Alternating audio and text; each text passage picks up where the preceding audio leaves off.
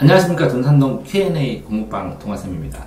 그 서산 이진우 그 CL 입시학원 원장님 질문하신 거 답변 중인데요. 만문만답입니다. 너무 길어서요. 뭐 문제가 많잖아요. 어, 이 3회차의 특성은 특성은 간단하게 문제를 읽고 간단하게 답변을 해서 근데 이제 오해는 하지 말, 마시기 바랍니다. 왜 그러냐면 그거 하나일 수는 없어요. 근데 짧은 시간에 그냥 적절한 답을 하나 선택해서 얘기하는 거예요. 그러니까 손가락이 다섯 가지인데 그 중에서 손가락 하나니까 손가락을 보지 마시고 손가락이 가르치는 방향을 보시고 어, 하셨으면 해요. 자, 이제 답변 드리도록 하겠습니다. 자, 선택의 에, 핵심은 무엇입니까? 아, 상황의 최적성이에요. 상황. 그 상황의 최적. 선택을 받는다는 것은 무엇인가요? 기회를 얻었다는 거예요. 기회. 기회. 그러면 기회일 뿐이지 이 어떤 능력이나 뭔가를 받았다는 건 아니죠.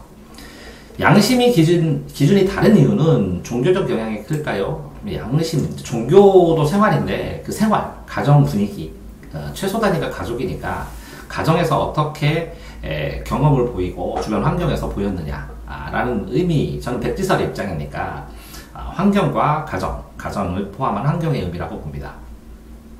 저절로 깨닫는 사람은 천재라고 해요. 어떻게 생각해? 천재 있습니다. 저도 몇 명 봤는데 예, 다릅니다. 배우지 않아도 압니다. 아, 희한하죠.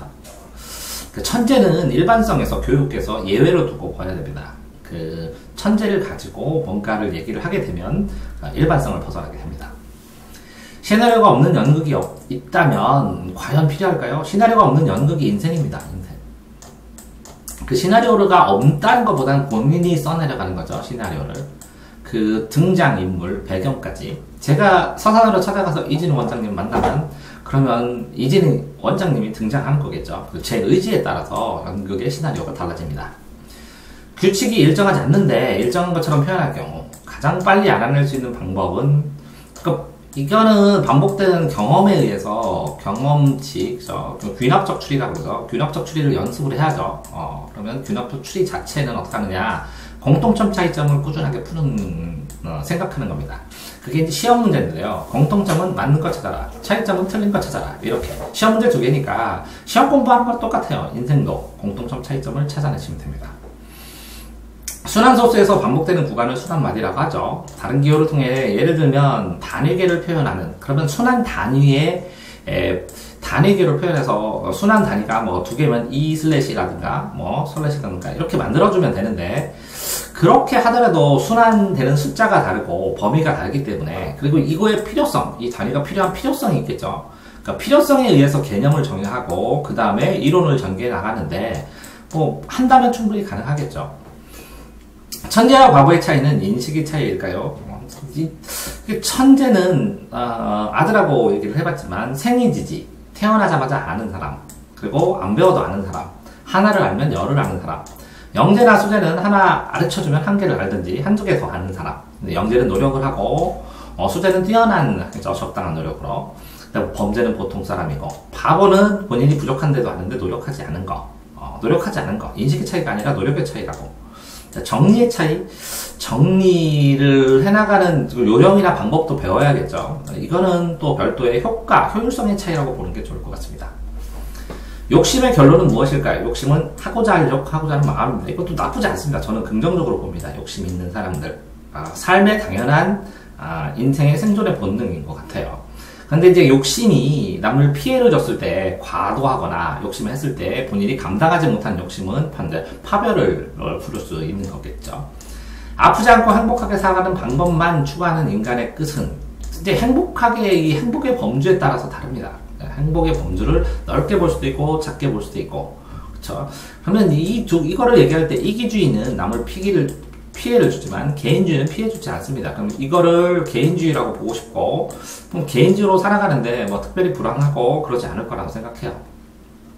고통과 행복과 중독의 차이와 공통점을 두면 고통은 아프죠. 고진멸도에서 불교에서 그죠? 어, 그 부처님이 생각했던 세상의 고통. 행복은 법학에 나오는 음, 뭐 헌법 10조에 나오는 인간의 존엄과 같이 행복 추구권의 행복 그죠? 중독은 어디에서 매니저로 어, 그뭐 약물 중독 이런 게 아닌 한 어떤 것에 에, 오타쿠적인 매니저 그러니까 아, 아 그쵸? 그 추구하는 어? 그런 사람들로 보고 싶어요. 그러니까 그세 개다. 적정한 고통은 인간 세상에 태어났으면 당연한 거죠. 그렇죠. 그다음에 행복은 추구해야 될 거고 어, 추구하는 과정이 중독이고 이렇게 서열상으로 어, 시기상으로 보고 싶네요. 알려고 애쓰지도 말 애, 애를 써, 써도 알지 못하는 사람에게 한마디 하시냐면 그쵸? 아, 애를 써도 알지 못한 알려고 애를 써도 있어요. 뭐 기초를 다지시라고 기초 그쵸? 아, 기초를 다지시라고 기초부터 차근차근 누구나 다 할 수 있는 얘기죠. 근데 그 말 왜? 근데 알려고 했는데 어떤 방법으로 알려고 하느냐에 따라서 알 수 없는 경우가 있죠. 그러니까 방법상의 문제나 여러 가지 문제는 부수적인 것 같습니다. 두서 없이 순서 없이 말하는 사람에게 가장 적합한 공부 방법이 있다면 말하기 뭐 스피치 학원 다니세요. 어, 말하기. 예, 아니요. 그 그게 안 된다면 글쓰기 방법을 배우세요. 그러면 글쓰기 원리를 소리를 내어서 하는 게 말하기 때문에 폭발적으로 늘어납니다. 그래서 꼭 글쓰기, 논술, 기본 논술이라도 배우시기를 권장합니다. 노란색 선글라스와 파란색 선글라스 있을 때 어떤 선글라스 선택하는 게 좋다고 보시나요? 그렇게 되면 저는 이제 선호하는 게 이제 파란색이 있죠. 노란색이면 너무 튀니까. 사람마다 선, 선호하는 이유. 근데 어떤 때는 노란색 선글라스가 필요하겠죠? 그러면 장소나 아니면 시간이나 상황에 따라서 선택하는 게 달라지니까 이 부수 조건에 따라서 달라질 것 같습니다. 환경적인 지배를 받지 않는 사람의 특징, 덜 받는 거죠. 받지 않는 건 없고, 덜 받고, 무덤덤하고, 그리고 환경을 극복하는 사람이거나, 아니면 덜 받거나, 이런 두 종류 중에 하나겠죠. 그러면 그 사람의 반응, 환경과의 반응의 성향에 따라 다를 수 있습니다. 환경을 주관하는 사람의 특징, 환경을 만들어 나간다는 거죠. 상황도 만들어 나가고, 어, 그러면 리더십이라는 거죠. 그럼 리더십에 대해서는 연구할 필요가 있어요. 책도 읽고 뭔가 생각을 해보고 그죠. 음, 리더십. 환경을 자연환경으로 치면 인간이 주, 주관을 하죠. 뭐 사람의 개척 정신, 사람의 개발 뭐 이런 거는 본능일 가능성이고요. 어, 본능이죠. 작은 영향도 큰 영향을 줄 수 있냐요. 작다, 작다, 크다 이거 상대적이에요. 단어 자체가. 아, 어떤 상황에서 작고 크냐 이렇게 얘기를 해주는 건데 작은 영향이 모여서 큰 거죠. 근데 기준이 달라요. 뭐 예를 들어서 개인과 사회를 볼 때도 개인과 사회, 개인의 원리와 사회의 원리는 다른 것처럼 두 개를 따로 생각하고 연골관계도 또 생각하고 이렇게 세 개를 따로따로 생각을 해봐야죠. 어디에 가서도 통할 수 있는 공식이나 진리가 있다면 그것으로 세계 평화는 이루어질까? 그쵸. 근데 이제 세계 평화의 정도가 지금 지구는 평화롭나요? 평화로니까 안 무서워지죠. 그러면 일정 국지전이 있어도 그건 국지라고 생각할 수 있죠. 그러니까 범위에 따라서 굉장히 달리는데 이제 어디에서 통할 수 있는 진리가 이제 종교적인 문제로 귀결되면 종교로 인해서 평화도 되고 그 종교의 갈등으로 해서 전쟁도 일어나죠. 그러니까 세계 평화 음, 어디에 가서도 통할 수 있는 공식이나 진리 그러면 이 평화를 어떻게 생각하느냐 평화의 범위를 좀 넓게 보면 그죠? 음, 그 다음에 어디 가서도 통할 수 있다는, 통한다는 것 자체가 문제가 돼요. 어디 가서도, 어느 장소에서든, 어떤 사람에게든 통한다. 그러니까 통하는 게 뭐냐? 필요한 게 뭐냐? 그러니까 통하지 않는 건 또 충돌이 일어나니까. 알지는 못하는 공식이 있다면 공식을 밝히지 못한 사람의 잘못이 큰가요? 그러니까, 아, 아니죠. 이제 사람이 밝혀나가는 거죠. 필요에 따라서. 공식. 그래서 일반화시키기 공식이고, 증명되고, 알지 못하는 사람이 잘못인가요? 그럼 공식을 만들어서 알지 못하는 사람한테 이제 알려주고 퍼뜨리기도 하죠. 근데 사람의 잘잘못하고 우주의 진리하고 어, 같이 연결할 수 있는 건 이제 본능적인 철학적인 문제인데 아, 그런 상황까지 확장시켜서 공식, 공식이라고 표현하는 것은 공식은 학문적인 영역이고, 그죠? 진리 입장에서는 도가 도면 비상동이고 명가 도면 비상명이라 해가지고 도를 도라고 얘기를 하면 아직 도가 아니고 그죠? 아, 그런 상황이 되니까 공식이라고 밝히는 순간 진리가 아니잖아요. 자, 잘못의 기준은 무엇이고 사고의 방법이 잘못되는지 잘잘못 어떻게 판단하나요? 생각이. 어, 잘못 그 논리성이라는 거예요. 논리성. 인과관계, 원인과 결과가 논리성이라는 거고 원인과 결과를 긴밀하게 적절하게 사람들이 압습될 수 있고 이해될 수 있을 만큼 연결하는 걸 사고의 방법이라고 어, 생각을 하고 그거를 벗어날 때 이제 오류라고 하거든요. 그러니까 오류의 기준 해갖고 제가 유튜브에 올렸는데 오류 간단한 종류들 그 오류들을 보면 그걸 활용을 해요. 어, 현실 생활에서 그 오류들도 삶의 일부일 수도 있고 크게 볼 때는 잘못이 아니라 인간이기 때문에 당연히 일어나는 일들일 수도 있습니다. 그 잘잘못이라는 도덕적 방법과 사고라는 어, 철학적, 예, 예, 논리적인 추리 방법하고는 연결된다. 그러면 사고가 잘못됐다. 생각의 절차가 잘못됐다. 라고 얘기를 할 수 있는데, 일방적으로, 그 일반적인 사람들의 논리적인 이해에 방해가 된다. 뭐 이런 걸 수 있겠죠. 설득하지 못하는 사람의 특징은, 그러면 이게 이 설득을 할 때 A와 B가 있을 때, A가 주장을 하고 객관적인 증거를 얘기를 해서 어, 이 B로 하여금 자신의 입장에서 A의 입장으로 옮기는 게 설득이거든요. 행동 변화가 일어나는 게 설득이에요. 그래서 해설을 하고 이득, 이득은 뭐라고요? 내 주장을 어, 상대방이 행동 변화를 통해 이끌어내는 거거든요. 그러면 설득하지 못하는 사람은 이 객관적인 근거가 잘못됐든지 이 주장이 이 A, B라는 사람들과 동감을 이끌어낼 수 없든지 아니면 이 B가 이쪽으로 옮겨갈 수 있는 상황적인 것이 안 됐든지 그랬을 때다 에러가 나타나겠죠. 지도에도 지도할 수 없는 사람 지도를 받고 싶지 않은 것이죠. 뭐 사람이 사람다 사람이라 그러는데 사람의 삶은 사랑입니다. 그래서 사람 이 네모난 게요 둥글둥글 둥글다 보면 사랑이 돼요.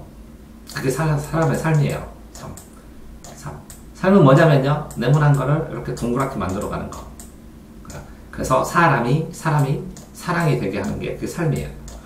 그래서 리을과 미음 사이, 리을과 미음, 미음이 이응이 되는 거죠. 그 지도에도 지도할 수 없는 사람은 없습니다. 여태까지 해본 경험에. 근데 목표가 지도의 목표 때문에 그렇습니다. 제가 포기한 이유는 뭐냐면 아이의 수준은 정문대 가는데 아빠는 4년제나 아, 서울권을 원해요. 그러면 저는 제 능력으로 감당할 수 없습니다. 이렇게 말씀드렸을 뿐이지 아이를 포기한 적은 한 번도 없어요. 학습의 목표, 이 목표를 못 이루겠다고 얘기한 것이지. 어차피 전 서비스업자고 서비스업으로 교육을 하는 사람이니까. 더 높은 수준의 깨달음을 얻기 위해서는 운동만으로 가능할까요? 어, 깨달음이 운동. 뭐 지식 운동이란 얘기인가요? 질문 자체가. 자, 더 높은 수준의 깨달음. 자꾸 공부해야죠. 삶은 공부, 철학적, 연구하고 탐구하고. 어, 그래서 연결된다는 걸 깨달으면 지식과 지식이 연결을 느끼거든요. 지식과 지식이 연결이 되면 요걸 깨달음이라고 얘기를 하는 것 같아요. 제가 아, 경험한 거로는.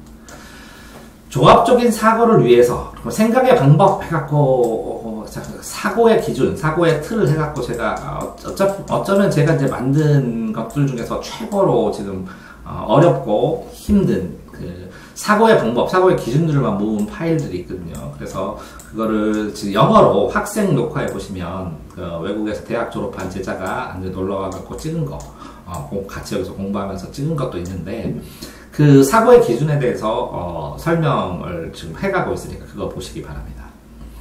감정 없는 동물 어, 아까 찍었죠? 없죠.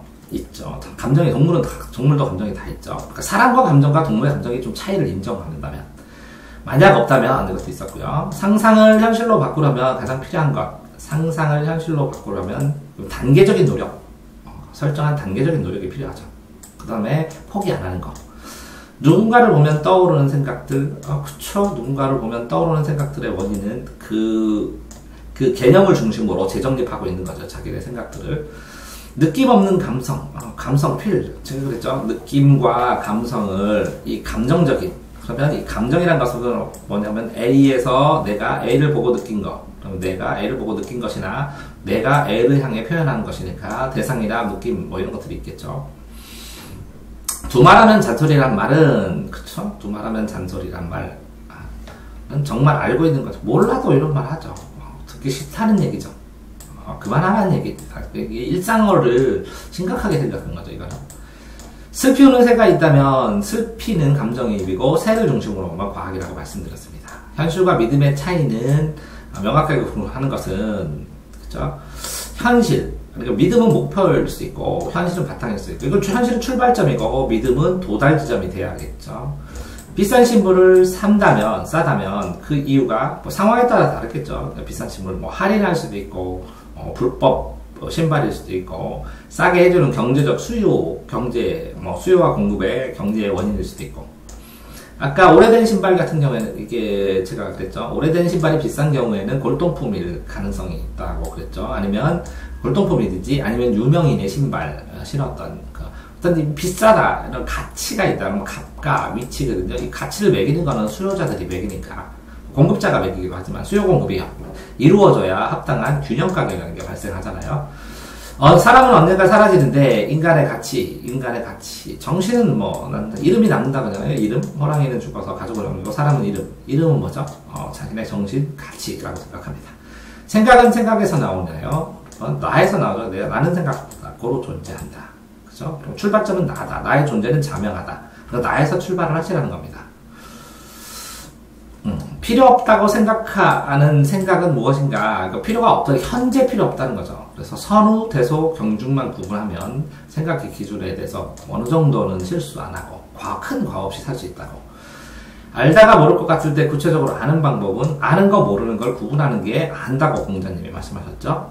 생각하지 않고 말하는 방법이 있다면 꼭 고쳐야 할까요? 뭐 당연히 남에게 피해를 준다면 고쳐야죠. 생각하고. 그러면 생각은 말한다는 것은요, 그 전에 말해봤기 때문에 말할 수 있어요. 그러니까 준비된 말을 할 수밖에 없어요. 지금 제가 이렇게 즉답, 즉설 증문을 하는 것 같지만, 생각해보고, 연구하고, 공부하고, 이런 경험이 있기 때문에 말하는 것이지, 경험이 없다면 말할 수 없습니다. 범죄는 알기 때문에 하는 것인가요? 그러니까 범죄하고, 아는 거하고, 알면 고의, 더 안 좋다는 건데, 범죄. 법학에서는. 모르면 선의. 이렇게 됐다, 그죠? 자, 선택이 죄인지 선인지 아는 방법. 이거는 죄와 선은 철학적인 것이고 선택은 일반적인 생활인데 이렇게까지 하면 생활하기가 곤란하죠. 판단하기가 곤란하고. 그러니까 최선을 다해서 그냥 선택하세요. 어, 기분, 기준이나 양심이 어느 정도 일반적인 사람의 일상성에서 벗어나지 않는다면 어, 작은 죄를 범한다면 더 큰 선으로 선덕으로 어, 대신할 수 있도록 이 정도 사는 거면 적절할 것 같아요. 설득하기 위해 가장 필요한 것, 가장 필요한 것은 뭐냐? 아까 말씀드린 것처럼 A와 B?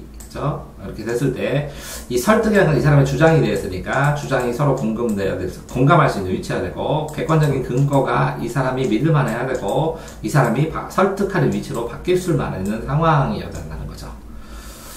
자, 설득, 납득까지. 그러니까 설득은 뭐라고요? 어, 말하는 사람 중심이고, 음, 납득은 이게 듣고 이해하는 사람 중심인 것 같습니다.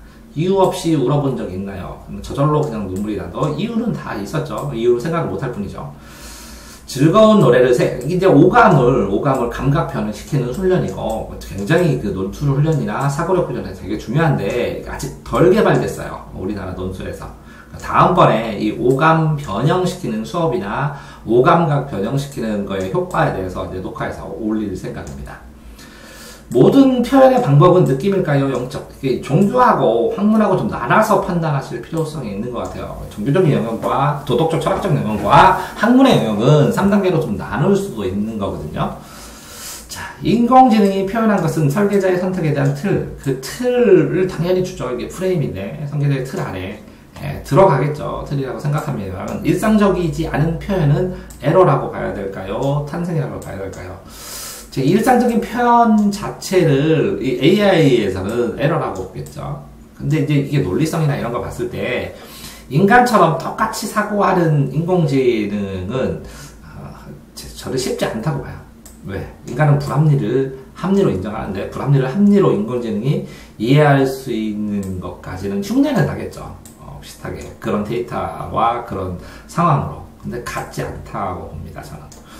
인간이 생각하지 못하는 부분은 수리적 공식으로 그 수리적 공식은 공식이라는 것은 공통의 방식이라는 인간이 인정하는 그죠? 수리라는 것은 추상적인 구체, 구체적인 상황들을 어, 통합해서 추상적인 걸로 만들었어요. 그러면 추상적인 공식으로 행복 공식 뭐 이런 거 있잖아요. 다 인간이 생각해야만이 이 공식으로 나타날 수 있습니다.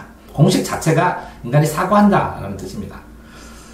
복합적으로 알지 못하고 들키지 않은 답변은 뭐 이거는 알지 못하고 적극적으로 알지 못했는데 들키지 않고 답변하는 좋은 방법. 그러니까 이제 뭐 어떤 장면을 모발하면 그 사실을 들어보고 그 사실을 확인하고 이 정도만도 답변입니다. 아 그랬어? 어 그렇구나 이렇게 신림동 영숙이 신림동 영숙이라는 파일을 한번 지금도 있을지도 모르는데 신림동 영숙인가? 신림동 영숙이. 이렇게 답변하는 방법이 있어요. 어, 대화. 여, 성과 대화하는 방법. 이렇게 들어보세요. 호응하는 거. 얼씨구, 어, 그래? 아, 그렇구나. 올, 헐, 이 정도. 이런 것도 좋은 답변이라는 것을 배우실 수 있을 겁니다. 선택의 핵심은 그죠? 선택의 핵심은 상황의 적절성, 선택을 받는다는 것은 기회, 양심의 기준, 종교. 다 해본 거네요. 자, 쭉 어디까지 해봤나? 아, 쭈루룩. 아, 이게 제가 그 한 번 보내셨는데 다시 복, 복, 그 복사를 해서 끼어들어서 또 들어간 것 같아요. 아, 여기서부터 다시 하시면 종합적인 사고를 위해서 사고하는 방식에 대해서 제가 찍어 올린다고 했고요. 한 가지를 알고 있어서 천 가지를 구별하는 사람이 프로입니다. 자, 한 가지를 명확하게 안다면 천 가지를 한 가지로 융합했다는 거죠. 한 가지 원리로. 뭐 국어 같은 경우에도 저도 세 가지 기준, 문장의 완결성, 단락의 통일성, 주제의 일관성 이것만 하면 모든 걸 다 풀어가거든요. 아, 이게 가장 기본적인 아, 출발 공식인데 이런 것처럼 천 가지를 통해 한 가지를 정확하게 아는 사람, 뭐 똑같은 상황입니다. 같은 사람. 같은 사람. 근데 천 가지를 통해 하나를 알고 그거를 천 가지를 구별하면 수준이 더 높겠죠. 그러니까 2%하고 2%가 했을 때 보세요. 그러니까 천 가지가 있으면 천 가지를 통해 한 가지를 만들고 다시 천 가지를 구분하고 천 가지를 구분한 다음에 다시 또 요거를 또 한 가지로 또 응용해서 만들고 이게 이쪽에서 오는 걸 귀납법이라고 그러고 이쪽에서 나가는 건 연역법이라고 하거든요. 그래서 귀납법과 연역법은 서로 피드백하면서 계속 반복해야 되는 겁니다. 존경하는 사람은 이미 정해져 있다고 생각하는데 정해져 있다. 존경 받을 만한 사람이니까요. 사람은 정해져 있는데 존경하고 말고는 내일지죠. 사람들의 강의실에 빨간 의자와 파란 의자 있다면 어떤 의자에 학생들 앉으면 좋을까요? 그렇죠? 뭐 이거는 학생의 선택인데 이걸 왜 고민하시는지 모르겠는데 빨간 의자와 파란 의자를 이 주변 어, 그 학원 색깔과 아, 같이 보면서 어떤 의미를 주면서 배치할까라는 문제는 있어도 안 치면 좋을까요? 뭐 이것까지 강의할 수는 없는데 매일 보는 것은 심리적 영향을 크게 끼친다고 한답니다. 그런 의미에서 갖춰야 할 인테리어 도구가 있다면 무엇일까요? 아, 저 도구를 저 도구를 뭘 하지는 못하고 저는 커피잔이 있으면 심리적인 안정이 되는데 커피잔 그 다음에 뭐 그림 매일 보니까 그림 그림을 걸어요 제 공부방에 보면 이제 동생이 화가인데 누나도 화가고 대나무 그림을 해줬는데 제 공부방 문을 열자마자 이 대나무가 보입니다. 너무 좋아서 걸었습니다. 가운데. 학원에 다육식을 기르는 것도 뭐 나쁘지 않습니다. 아이들 인성에도 좋고 식물을 기르는 게. 근데 저는 식물을 잘 죽여서 하기 욕심이 많은가 봐요. 물도 많이 주고 막 그런가 봐요. 아이들 기르기 그 분산되기가 싫어요. 아이들 보는데 그래서 저 같은 경우는 식물 없는 편이라 사와요. 그럼 할 수 없이 키워요. 지금 몇 개 키우고 있는데 잘 살아서 다행이에요. 선인장류로. 깨달음의 길은 기도가 필요하다고 생각하나요? 그러면 뭐 이렇게 그 기도를 통해서 깨달음을 얻는 분도 있어요. 종교적인 얘기라 잘 안 하는데 어떤 분이 이렇게 기독교신데 기도를 하시면 몸속에 기의 흐름이 원활해서 어 그쵸 음, 사리가 기독교인인데 생기기도 하고 그죠 어, 불교에서도 생기기도 하고 기도 간절함 간절함과 호흡 그 호흡 하나의 간절함을 다 보면 어, 기의 흐름이 되고 기의 흐름이 나중에 자연스럽게 모여갖고 사리로 나오기도 하고 라고 생각을 합니다. 자, 세상을 알아가는 방법은 대략 몇 가지라고 생각하는데요. 글쎄요, 세상을 알아가는 방법 뭐 간단하게는 한 가지입니다. 자기 자기 눈으로 보는 거 한 가지. 그걸 방법의 가지수를 여러 가지도 아는 것뿐이지. 예, 예의 바른 사람과 지식이 많은 사람 중에 누가 더 사회성이 당연히 예의 바른 사람이죠. 지식이 많으면 경계를 받아요. 사회성은 예의 바른 사람이 강합니다. 정이 많은 사람과 예의 바른 사람 중에 누가 더 사회성? 예의 바른 사람이 더 강합니다. 근데 이제 예의 바른 것도 정도가 있어요. 너무 예의가 강하면 어, 하죠. 이게 정이 많은 사람은 일부 어, 일부 특이한 사람들, 그러니까 일부 뭐 더 깊게 많은 사람이 크겠죠. 근데 둘 다 사회성 정도는 사람에 따라서 예의가 어떻게 바르냐, 정이 어떻게 많느냐에 따라 달라 달라지겠죠. 천자문의 한계, 뭐 천자문 공부를 하게 되면 천자문의 원리, 이해, 철학적 이해가 더 중요해요, 글자보다. 그래서 천자문이 어떤 흐름으로, 어떤 배경으로 세상을 설명하는가, 이게 더 중요하고요. 어, 요 다음에 또 추가로 더, 기초잖아요, 글자. 그 기초. 전체 사상에 대한 기초니까 파고들어야 되는 거죠, 파고들어. 조기교육으로 일본어, 중국어, 영어 중 하나를 선택하면 무엇을 권하냐요? 조기 교육이 뭐 언제쯤부터 조기 교육이 있지 모르겠는데 너무 어려서 글쎄요 한 조기 교육으로 적당하다고 생각하면 한 3학년, 4학년 때부터 조기 교육을 한다고 친다면 뭐 학습하려면 영어를 해야죠. 그 다음에 영어가 능력이 되면 중국어 하고 그 다음에 이제 일본어 하고 뭐 선택이죠 중국어 일본어는 음. 영어 해야죠 현재도 믿는 것과 아는 것을 정확하게 구분할 수 있는 거예요. 믿는 것, 아는 것. 아, 전 구분, 구분, 이거 항상 하고 삽니다. 하려고. 노력하고. 정확하게가 어느 정도 모르겠지만, 뭐, 95% 이상은. 만약 두 가지를 정확하게 구분하거나 구분할 수 없다면, 그 이유는 믿는 것과 아는 것. 아는 것과 모르는 것. 그쵸? 아는 것과 모르는 것을 구분하셔야 되고, 이 모르는 것을 내가 안다고 착각하는 걸 믿는 거라고 생각을 한다면, 그쵸? 이두 개를 구분하는 게 공부의 시작이니까. 공부 항상 하니까. 그 도구요. 어, 본인이 판단하는 그 본인밖에 없는데 알다 모른다를 구분하는 것은 본인밖에 없어요. 근데 이제 아는 정보의 차가 다르죠. 이거를 아느냐 해서 깨달음게 아는 것뿐만 아니라 일상적인 아는 것까지 아는 걸 포함하면 되게 넓을 테고 좁히면 아는 게 거의 없다고 하겠죠. 내가 내가 누군지도 모르니까 내가 정보를 모르는데. 자, 서, 울대학교를 졸업한 의과 대학생이 요식업을 잘하려고 생각하시나요? 중국집에서 20년 한 사장님이 요식업을 잘하시나요? 20년 동안 안 망했으니까 잘하겠죠? 서울대학교 의과대학을 졸업할 정도로 뭔가 집념을 가지고 성실하게 지내면 요식업 잘하겠죠? 자, 그러면 똑같이 20, 이, 이거를 비교 대상으로 삼을 수가 없습니다. 이 사람은 경험에 의해서 하는데, 20년 한 사람이 요식업을 잘할 수도 있고, 가난하게 괜시히 그냥 먹고 살면서 할 수도 있거든요. 그리고 서울대 학생이 요지복을 했을 때 어떤 마음가짐에 또 다르니까. 교육은 습득력이 탁월한 사람을 가르칠까요? 강의술이 탁월한 사람을 잘 가르칠까요? 어, 당연히 강의시죠. 아는 것과 가르치는 건 다르니까. 아는 것과 가르치는 건 다릅니다. 가르치는 기술을 또 알아야 됩니다. 아, 그죠? 근데, 아, 아 가르치는 기술을 빨리 습득했다고 해도, 그죠? 그거를 습득해갖고 사용하는 것까지 그럼 이 습득력이 강의 기술까지 했다가 같은 사람이 돼버리니까 문제 자체에 오류가 있는 거죠. 교사가 더 잘 가르칠까요? 교수가 잘 가르치는 교수도 있어요. 교수나 교사나 뭐가 달라요? 학년만 다를 뿐인데. 자, 수학자나 성경이나 불경을 잘 가르칠까요? 영문학자나 영문학자가 아, 성경이나 불경을 가르칠까요? 그러니까 이제 수학자나 영문학자랑 요거랑 학자랑 가르치는 건 별개라니까요. 자신의 기름을 내걸고 가르치기 위해 반드시 필요한 한 가지는 무엇입니까? 아, 그쵸? 내 이름은 부끄럽지 않게 살 당당함, 자존감, 아이덴티티. 예. 내 이름에 대한 자신에 대한 자존감. 학생만 있는 게 아니네요. 선생도 있어요, 자존감. 나는 어떤 사람인지. 당신은 어떤 선생님이십니까? 상대방의 의견을 존중한다는 것은 구체적으로 무엇을 기준으로 존중한다는 것이냐? 뭐 의견을 존중한다, 타협하고 세세하게 살핀다, 배려한다, 뭐 이런 거겠죠. 어, 기준을 바꿀 수는 없으니까. 근데 기준과 기준을 서로 이해한다. 좀 상황에 따라 다르겠네요. 되게 애매하네.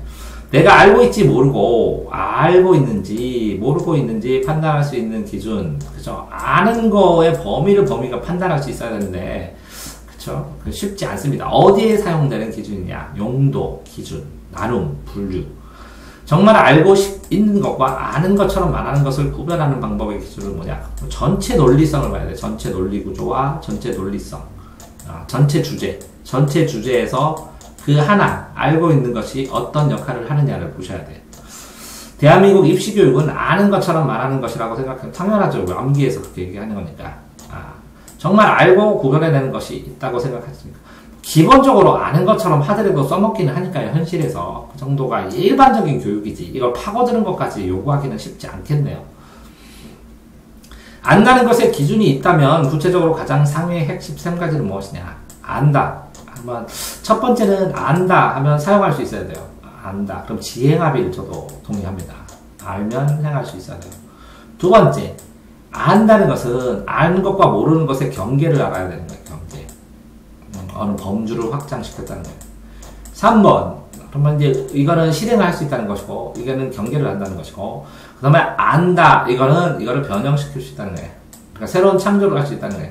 그러니까 알아야 바꾸고 변형시키고 그죠? 온고지신 옛 것을 알아서 새 것을 한다. 온고지신, 지행합일, 그 다음에 범주와 경계 이 세 가지를 안다는 것의 기준으로 잡고 싶습니다.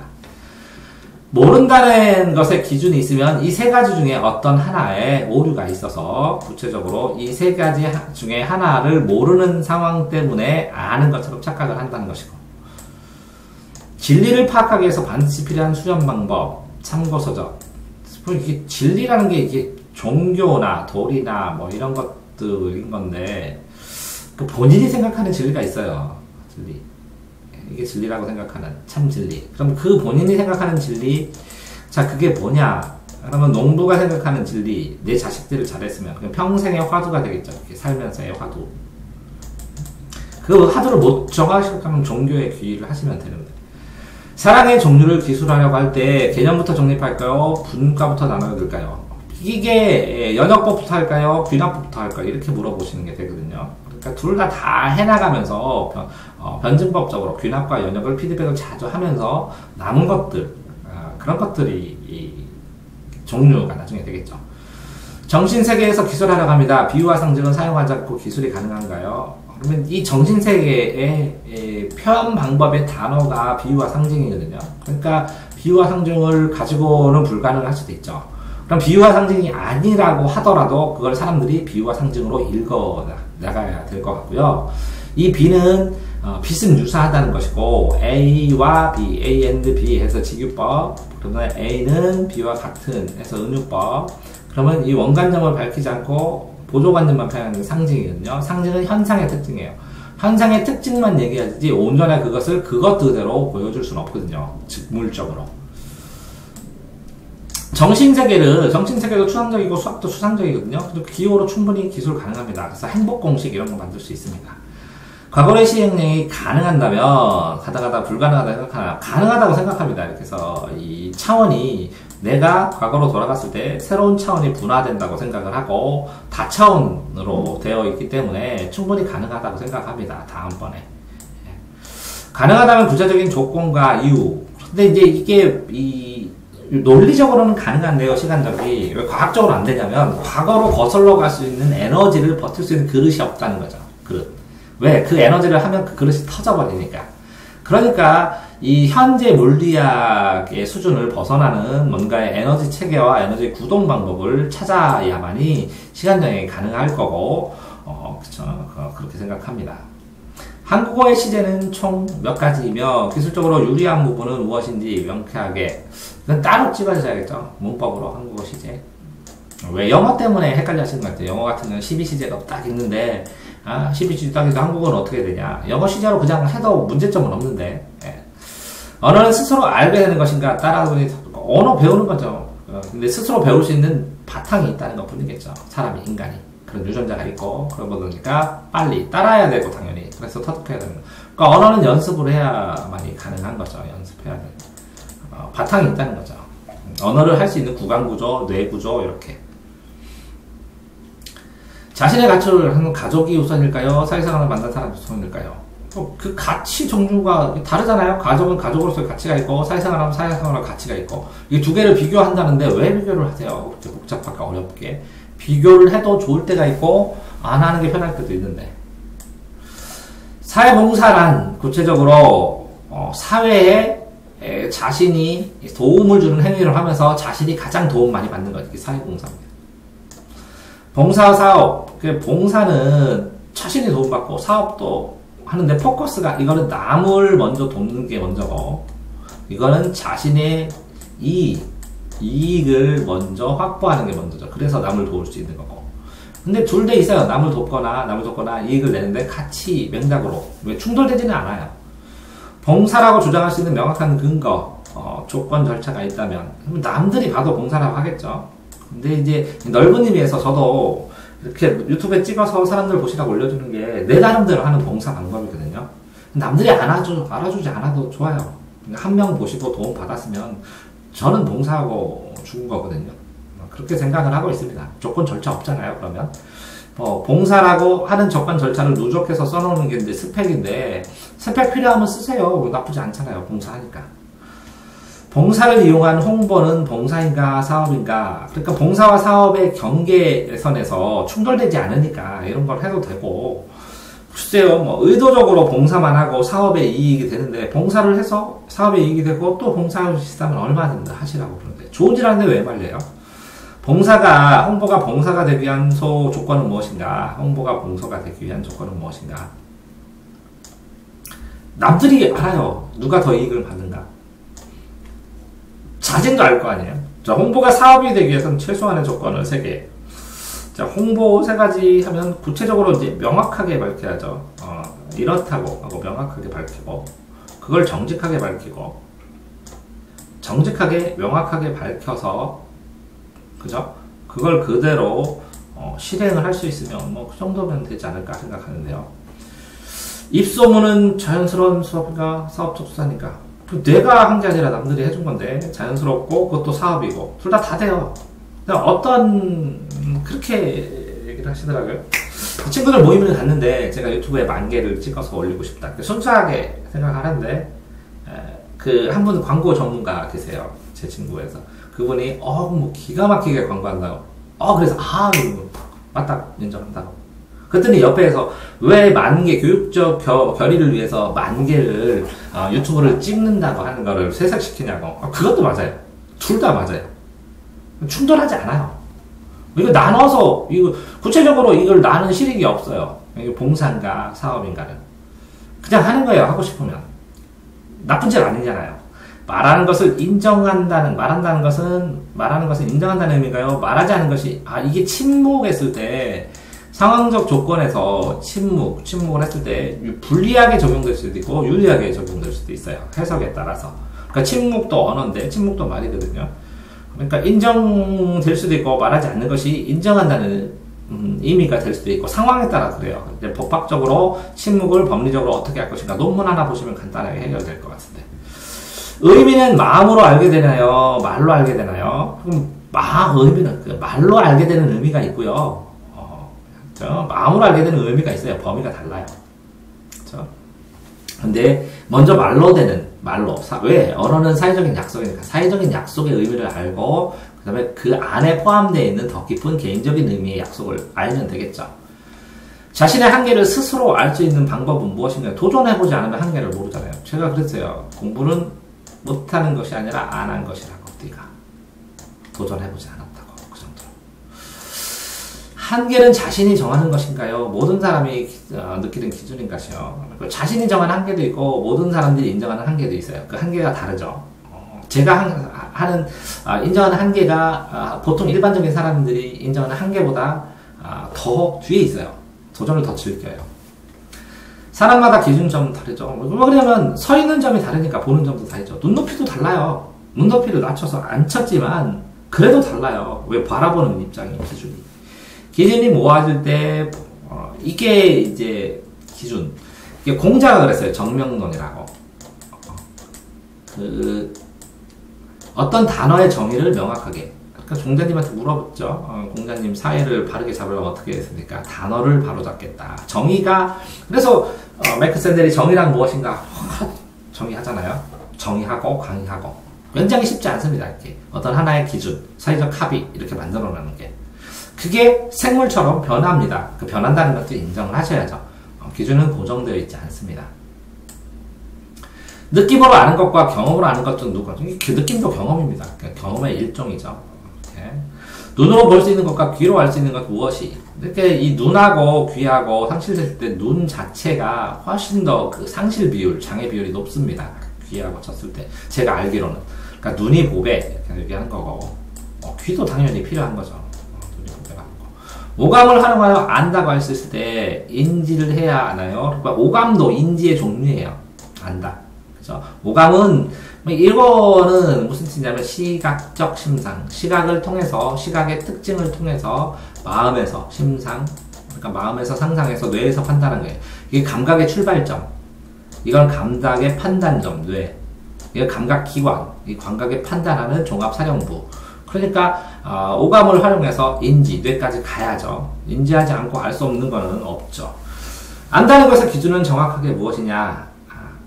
철학적으로 아는 것과 신학적으로 아는 것은 차이 있죠. 신학은 실제 보면 믿음이고 철학은 어떤 것 이것도 믿음인데 이 신학의 믿음은 무조건적인 믿음이고 철학의 믿음은 어, 떻게 보면 논리적인 논리적인 궁구한 탐구계. 왜 그런가에는 논리적인 믿음이고.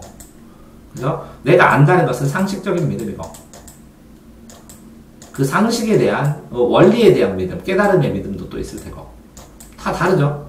음, 단계가 언어의 통일이 가능하다. 그러면 에스페란토 같은 거, 뭐, 그래서 통일 언어를 사용하자라고 옛날에 했었죠. 했었는데, 그게 실패를 한 거죠.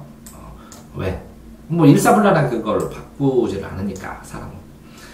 가장 완전한 언어가 탄생하기 위해 반드시 필요한 세 가지. 그러면 이게 그 에스페란토와 같은 거, 아무 제가 기억하는 에스페란토인데, 그거 맞나? 에스페란토 맞은 것 같아요. 감각적으로. 근데 어쨌든 그런 언어, 어, 만드는 방법, 그, 어, 통일언어 만든 방법 연구하시면 될 것 같은데. 감성적인 언어와 이성적인 언어 중 학습이 감성학습이라고 하잖아요. 그러니까 둘다 같이 있어요. 둘다. 상황에 따라 적절하게 섞어야죠. 어, 왜 하나를 포기해요? 평범한 것이 수준이 높은 것인가? 독특한 것이 수준이 높은 것인가? 평범? 평범한 것은 그냥 넓은 건데요. 그 안에 독특한 것이 있고 그 안에 또 평범한 것이 있어요 되는 요걸. 그러니까 공자가 그랬어요. 종심이라고. 초발 초심 중심 종심이 있는데 초발심. 출발할 때 마음 중심을 잡고 종심. 내가 마음대로 행하는데 그게 다 도에 이르더라. 요, 요거 요거예요. 평범. 도. 평범의 도. 요거는 뭐예요? 독특. 요것도 평범. 그럼 또 밖에는 뭐가 있을까요? 독특이 또 있겠죠. 평범해봐야 독특하다. 인간이나 이런. 범주 차이 훈련을 하게 되면 단어를 적절하게 쓸 수 있을 것 같아요 수준이 높다는 기준은 무엇인가? 뭐 높다, 낮다 상대적이잖아요. 그러니까 레벨이 다르다, 판단이 다르다. 아, 뭐 일반적으로 공부법에서도 수준이 있잖아요. 공부법에서도. 그걸 평가를 해보면 점수로 나오고.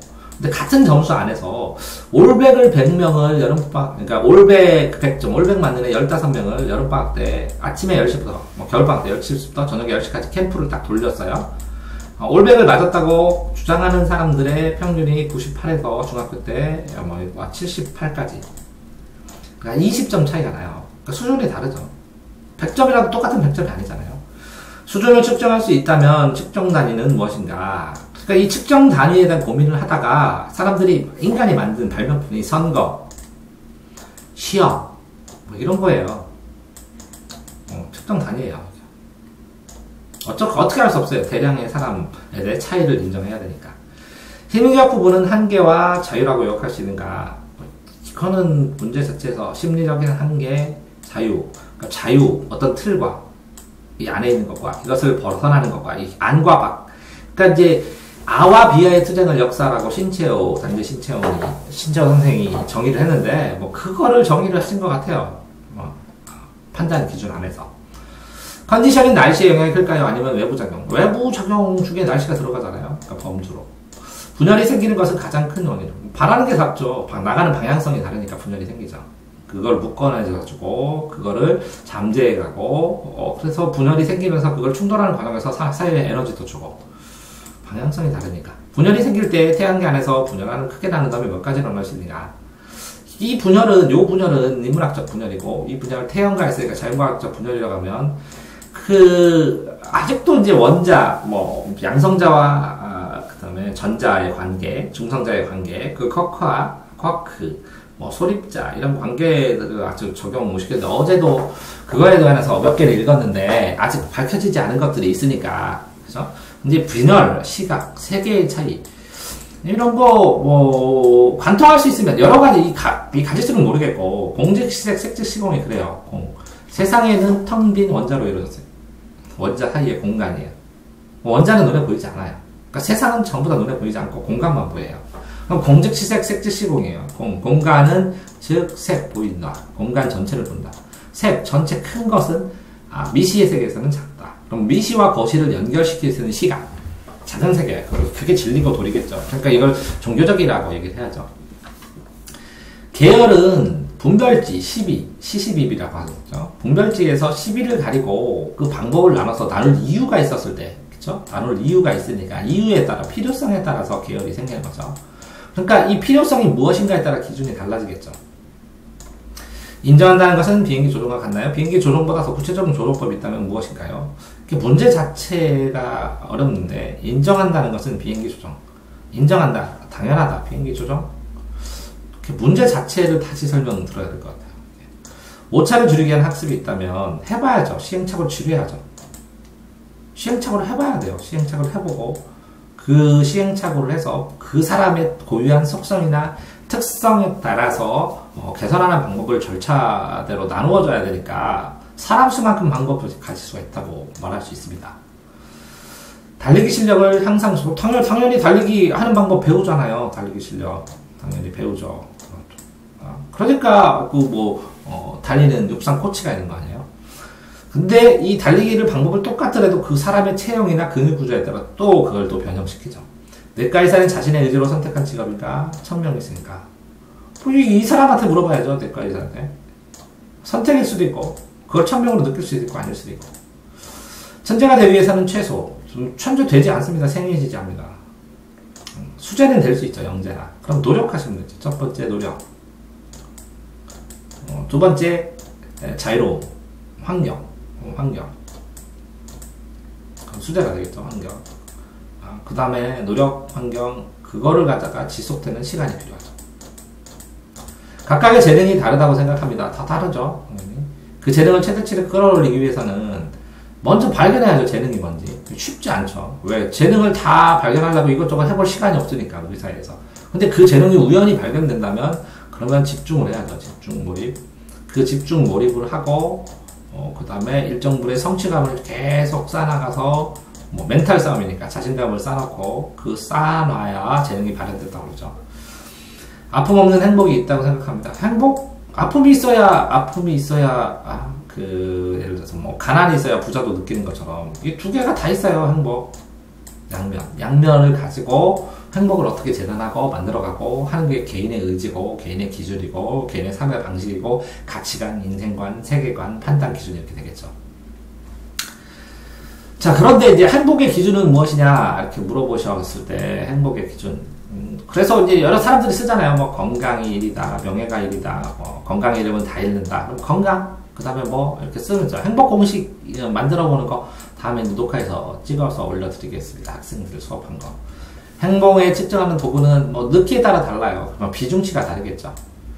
자, 행복, 부피나 질량, 그러니까 외계 문제라는 거겠죠. 행복. 그러면 이런 거지, 뭐, 기가 질량이 있느냐, 뭐, 이런 거랑 똑같은데, 이게 행복이 변하느냐, 변하는 것은 질량이 있다고 그러거든요. 변하는 것.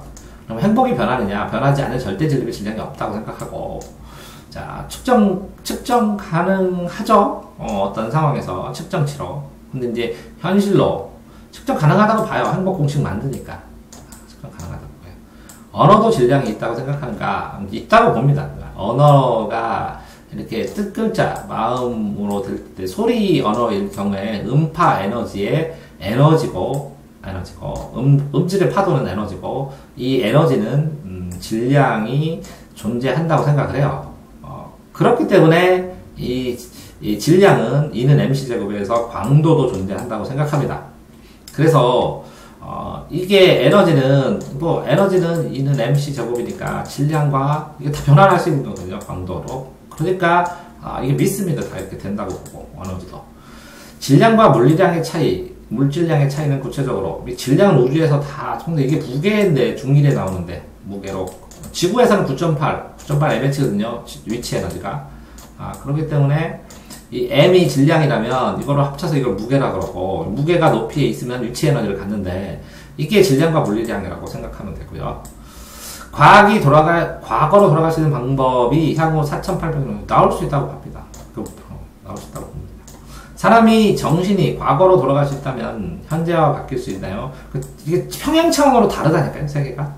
과거로 돌아가서 이 사면 이런 것도 분별 부딪히는 분들은 다른 또 과거로 돌아가면 뭐또 다른 세계로 분화된 차원이라 다차원이라고 저는 생각합니다.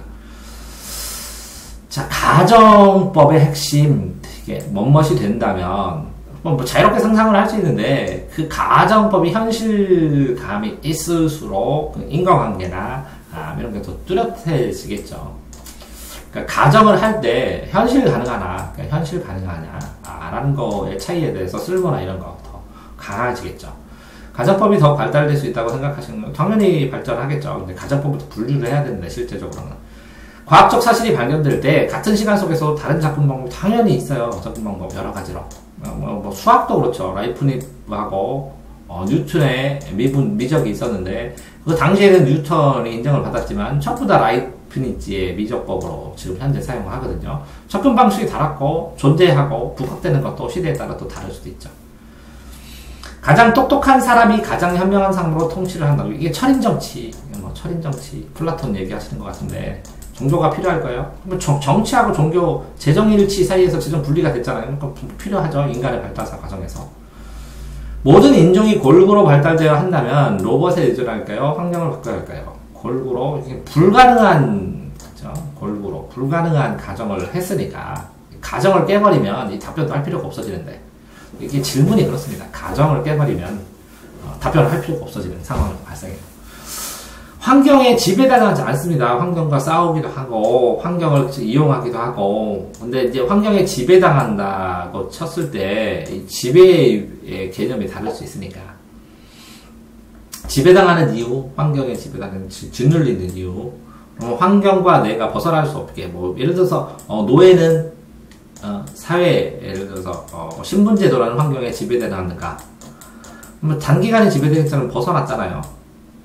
그러면 월급쟁이는 어, 사회의 노예인가, 뭐 회사의 노예인가, 지배, 지배자, 피지배자 이렇게 두 개 나누는 게 갈등론적 개념인데, 뭐 갈등론적 개념이 아니라 환경론적, 뭐 기능론적 개념에서 상류, 중류, 하류, 뭐 이래서 변할 수 있다 이렇게 하는 믿음이 더 강하니까 저는. 어, 지배당하지 않는다고 생각합니다. 형용사가 존재하는 이유는 무엇인가요? 이게 형용사가 아, 형사의 종류가 지수대성신색제 뭐라고요? 지수대성신색제 지시대명사 수 어, 숫자 지수대 큰 대소 어, 성 성질 성상 대성신 신구 색깔 재료 그 표현은 다양성을 위해서 필요하죠. 문명이 발달하고 구해질 것 많고 그러니까 부사도 장방시목의 종류 장소 방법 장방시 시간 아, 목적 장방시 목유, 이유, 조건 정도, 조정량, 조건 정도 양도. 그 표현의 다양성을 위해서 당연히 필요하죠. 비유와 상징을 통해 과학적으로 증명할 수 있는 것이 있나요? 아니면 언어를? 그럼 언어 자체가 비유와 상징입니다. 언어. 물, 물, 상형 문자, 상징, 현상의 특징을 상징하잖아요. 물, 수. 이런 모양은 물 안에 땡 담기는 것. 이런 모양은 흘러가는 것. 과학적인 과학. 다른가요? 언어가 중요하다고 생각하시나요? 수학기호가. 수학기호가 언어입니다. 그러니까 언어를 추상화한 거를 또 음, 만드는 건지 말, 기호로. 기호도 언어입니다. 기호 언어. 발전하지 않은 사람은 발전하려고 노력을 안 하니까요. 발전하려고 생각하죠. 노력을 했는데도 발전 안 한다고요? 발전할 방법을 바꾸라고. 발, 방법은 다 맞았는데도 발전 안 한다고요? 그럼 또 이유를 말하세요. 그 이유를 개선하면 되니까. 발전하기 위해 필요한 건 그 중심에는 머리가 있나요? 배가 있나요? 뭐 머리보다 머리 배라고 하지 말고 가슴. 어, 배도 되겠네요. 머리, 가슴, 배 이렇게 나눈다면 머리는 영혼, 가슴은 열정, 배는 체력, 에너지. 뭐 이렇게 세 개가 다 필요하죠. 존재란 구체적으로 온도와 같나요? 온도 높고 낮다. 아, 존재한다. 아니죠. 이거는 측정할 수 있는데 측정하지 않는 것도 존재한다고 가상할 수 있으니까. 신, 신 측정할 수 있나요? 없잖아요. 그러니까 존재. 존재라는 의식인가요? 좀 맞다 봅니다. 의식, 언어. 언어가 있으면 존재한다고 생각합니다. 그냥 있어 언어 없는 것, 언어가 없는데도 존재있죠. 그럼 느끼면 된다는 거죠. 몸짓.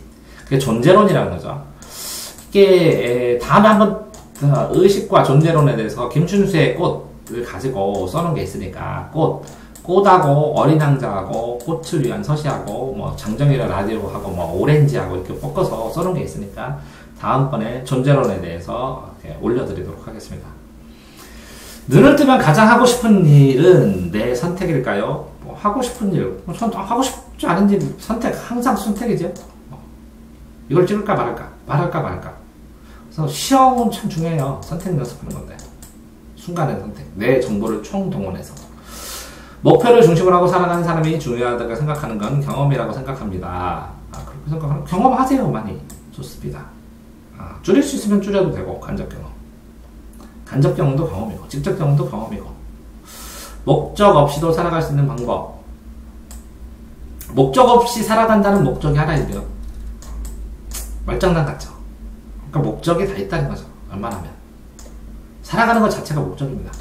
그래서 목적적 결과가 아니라 인간을 목적적 존재로 대우하라 라는 윤리의 책에 나와 윤리 책에 도덕 책에 나오는 글이 있습니다. 사람은 목적적 존재라고 목적으로서 결과가 아니라 목적으로 대우하라고 실수가 없어야 프로일까요? 어, 프로도 실수합니다. 아, 실수를 커버하고 실수를 줄이려고 노력하는 거지. 네, 측정의 기준 어, 있어요. 애들 시험 보면 측, 측정하잖아요. 그럼 시험 보는 프로 아닌가요? 어, 줄여가는 거예요. 자신이 애매하게 알고 있다는 것을 알 수 있는 방법은 없나요? 쓸 수 없으면 애매하게 하는 겁니다. 적용할 수 없으면. 사용할 수 없으면 애매하게 하는 겁니다.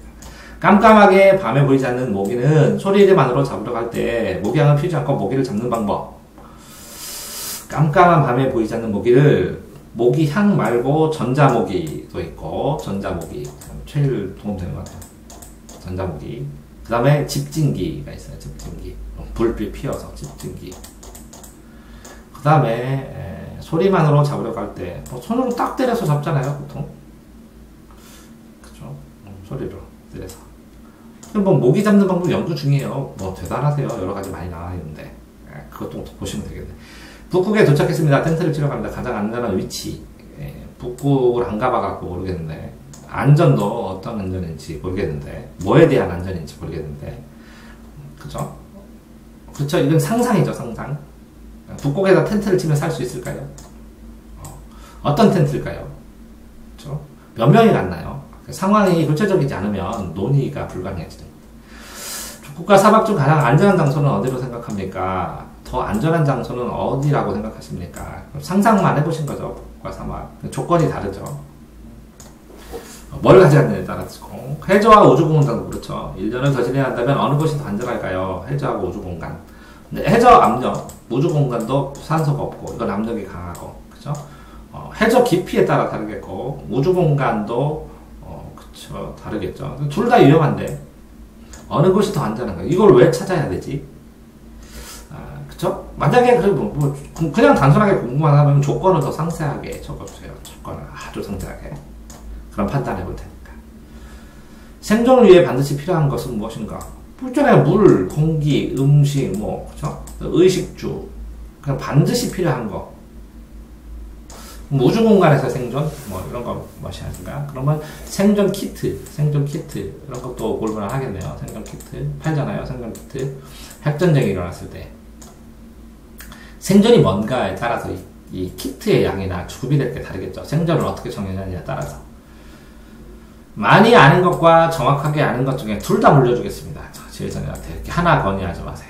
종교 지도자가 되기 위해 조건은 무엇이며 저한테 그 고등학교 때 선생님 중에 한 분이 사이비 종교 교주 만들지 마시라고 그럼 성공할 거라고 말씀하셨는데 종교 지도자 어, 그러니까 미쳐 그러니까 미친 놈이 아니라 미쳐야죠. 미치면 미친다 도달하는 어떤 게 오타쿠처럼 그 다음에 예, 정말 고민하고 뭐 여러 가지가 있는데 종교 얘기는 웬만하면 뺄 생각이거든요. 종교역 음, 종교 지도자 종교자가 될 수 없는 조건 뭐 대다수 다 그렇죠?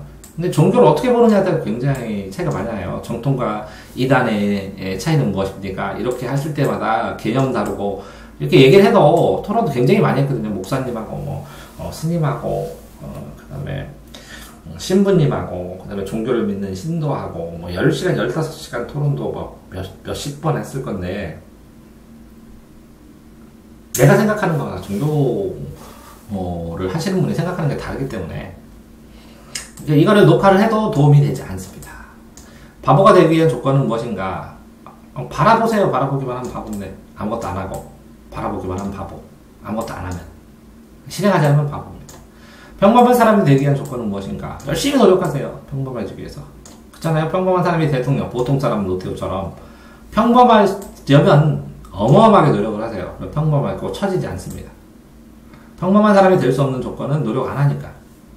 보이는 것이 전부라고 가정한다면 아니까 보이는가요? 보이니까 하는 것인가요?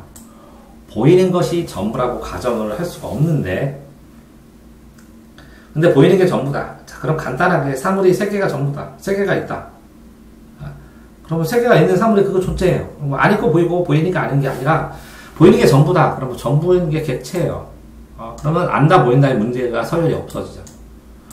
가장 자연스럽게 알 수 있다고 자부할 수 있는 것. 나, 내가 있다.